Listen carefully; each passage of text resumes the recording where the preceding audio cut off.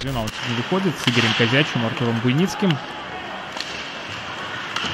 Но Максим Трунев с братьями Малявко во втором звене. Момент у Немана, бросок и счет открыт. Вот так Шахтер неожиданно выходит вперед. Ну, эту заброшенную шайбу. Давайте смотреть, что же здесь получилось, почему так... э, Откуда вообще этот момент? Ну, Караманда выложил Чернову просто на клюшечку эту передачу. И Чернов расстрелял дальний угол. Вывел Шахтер вперед. Вот вам, пожалуйста, вот вам преимущество Немана в первом периоде. Да, это точно 45 секунд играть. Ну и Шахтер пошел вперед. А Неман как будто не ожидал этой пропущенной шайбы. Вот контратвет. Ремезов подставляет клюшку под прострел. Артем Атака технически не исполнит Ремезов и Левша здесь ничего, но Ремезов Ремезов отдал на левшу, подкидочку такую, и Артем классно прыгает по прыгающей шайбе. Прыгающую шайбу вернула фактически из ниоткуда. И пришла она.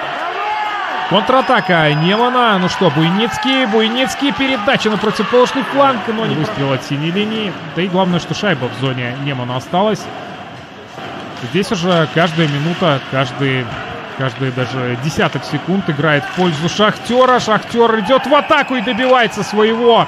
Кирилл Никулин делает счет 0-2. Ну, такой силовой гол продавил буквально обороне. И успели мы увидеть кадр Андрея Коршунова, который высказывает там что-то своим игрокам. Вот так Никулин сам самостоятельно прошел, получил шайбу здесь на, на усах, прошел к воротам, убрал под себя, первым броском не получилось Малютина пробить, Ласкина через левшу все же доставил Кирилл шайбу по назначению. Здесь попал, по-моему, даже в маску Малютину. Ну, конечно, после таких эпизодов по игра не останавливается. Получить по нему правильную оценку.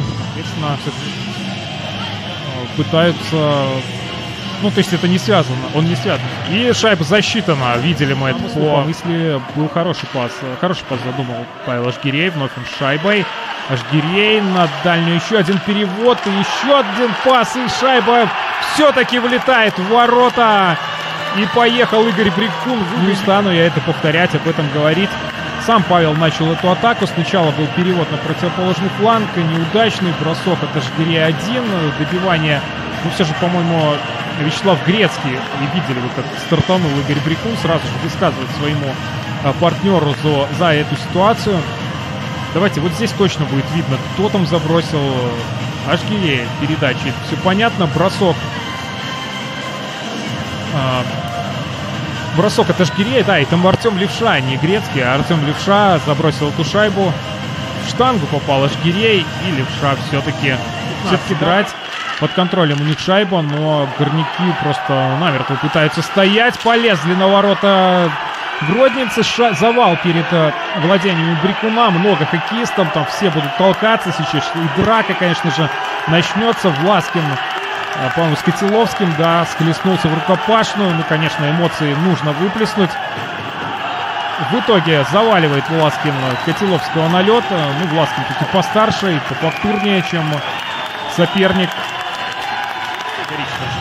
Отдавать победу 99-му номеру э, Немана.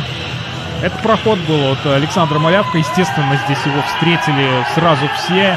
Несколько хоккеистов. Затем Брикун шайбу накрыл, и потом уже Котеловский и Власкин понеслись выяснять отношения. Было парочка ударов от Котеловского. Котеловский в основном по корпусу пробовал своего оппонента бить. Была попытка и в голову ударить, но переводит ее. И здесь еще клюшка и здорово играет Игорь. Начинает атаку своей команды и очень грамотно Жидких доехал до красной и бросил поворот.